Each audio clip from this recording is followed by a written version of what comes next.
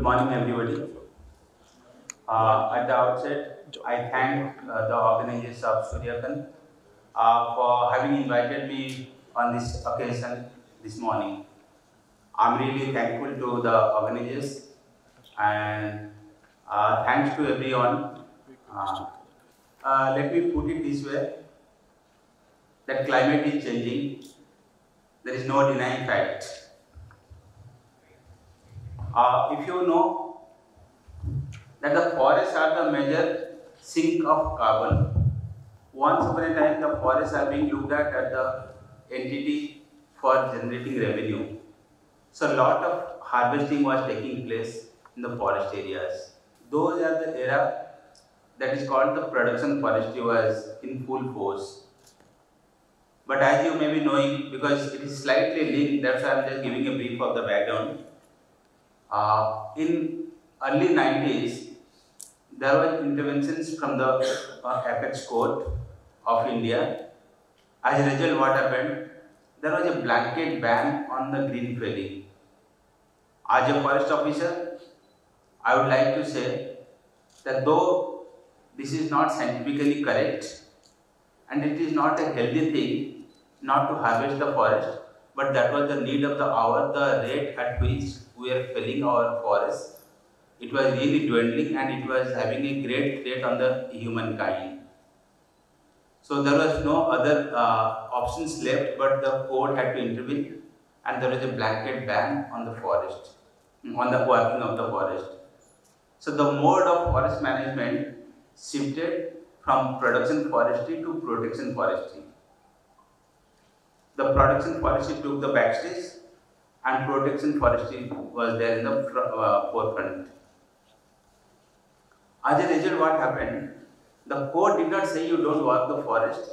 They said you have to have a working plan in place so that you can harvest the forest as per the prescription provided there in the working plan.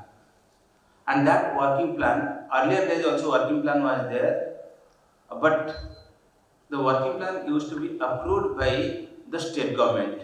The principal chief conservator of forest, or the head of the department of the forest, he used to approve the working plan. But the court order was, here onwards, the working plan is, need, is required to be approved by the court only. As a forest officer, of course, we are really criticizing this decision. We did not accept the fact that yes, why the forest need, uh, need not be worked. But today, 20 years down the line, I am realizing the fact that our country has made a commitment before the world community to combat uh, climate change. To negate the effect of climate change, uh, we have a great commitment. And uh, it gives me immense pleasure to share it with you all uh, that in 90, our forest used to be the carbon source.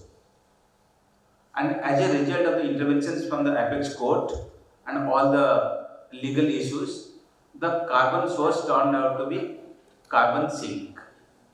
So it started absorbing carbon dioxide. So it became carbon sink. But the aggressiveness with which we have made commitment before the world community that yes, we are going to reduce the greenhouse gases, we are going to uh, uh, take active part in climate change mitigation process, uh, and the commitment that we have made till 2030, even if our forests have turned from carbon source to carbon sink, still after, after 2030, whatever commitment we have made, we are falling short by around 30 to 35 percent. We can't meet.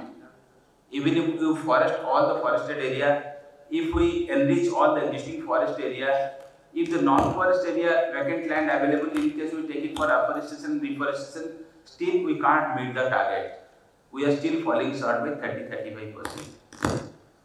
That is one of the reason why this solar energy is one of the very dear subject to our Honorable Prime Minister. Every time we go for the conference, the target is increased. Every time we uh, go for any meeting, the target is enhanced. If you look at the target for Chandigarh also, I think same is the scenario. If you go by data of Chandigarh, So far, we have already installed 31 megawatt, roughly, little more than 31 rather.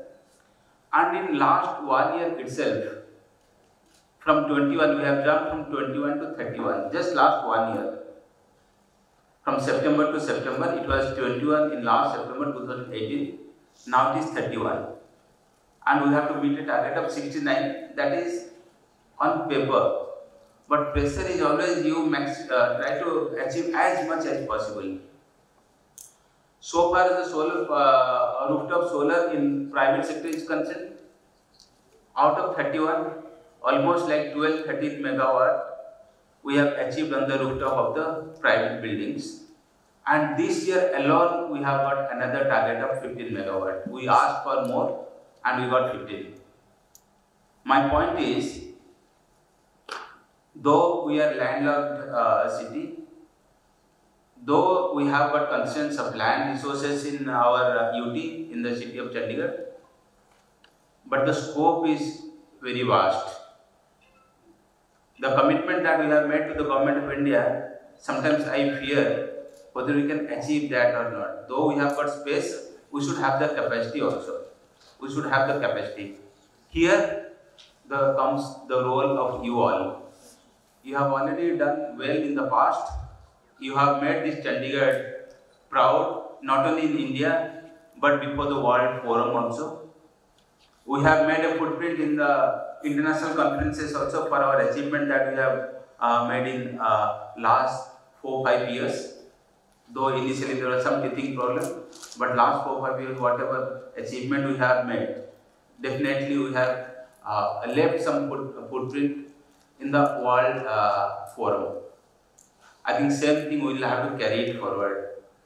Uh, my colleague uh, Mr. Mukesh Anand is there. Uh, he will be speaking about how, what is our plan how we are going to uh, turn out to be a UT with 100% RE, what is the present uh, position and how we are going to achieve, what is the roadmap ahead of us.